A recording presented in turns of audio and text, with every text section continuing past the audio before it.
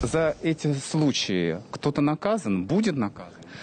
Это делается, выходит Роспотребнадзор, выходят соответствующие следственные органы, и в зависимости от тяжести, либо это будет административное наказание, либо лишение возможности работать с детьми, поставлять соответствующие продукты. Но если уже более тяжелое, ну, это уже занимаются правоохранительные органы.